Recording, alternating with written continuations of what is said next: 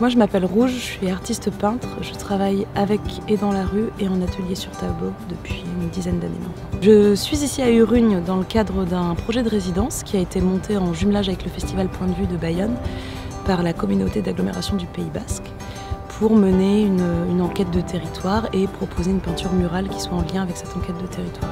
Donc nous sommes sur euh, le mur de la maison des associations d'Urugne et j'ai la chance d'y peindre avec Manolo Massa, qui est un peintre espagnol qui est venu m'aider à penser et à réaliser cette œuvre. Mon idée de départ, c'était d'identifier la culture basque comme une culture qui a besoin d'être transmise et de me demander si elle, euh, si elle allait survivre davantage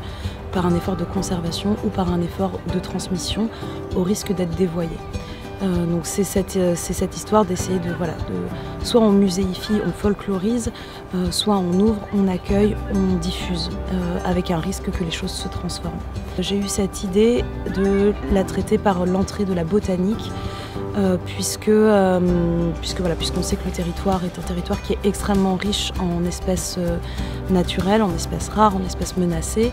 et qui m'a semblé qu'on pouvait trouver dans la nature deux choses à la fois, c'est-à-dire des rapports de tension et d'invasion,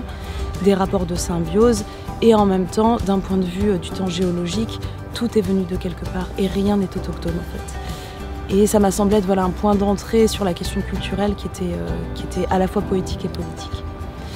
Et parallèlement à ça, donc je suis venue, euh, je suis ici faire une petite, mener une petite enquête botanique et euh, j'ai eu la chance de rencontrer, euh, de rencontrer des experts. Et c'est superposé à ça une autre histoire qui est l'histoire de, l'émigration du savoir pastoral basque aux États-Unis. Je crois que c'est entre 1850 et 1950. Et il m'a semblé hyper intéressant de composer comme ça un ensemble d'images qui viendraient raconter des, des symbioses environnementales des histoires écologiques, des histoires de territoire et en même temps des histoires de déterritorialisation et notamment avec une identité aussi forte que l'identité basque. Ça m'a semblé super intéressant de me pencher sur un moment où le basque a été un étranger quelque part. Moi j'ai été très heureuse de mener ce projet ici, j'ai été hyper bien accueillie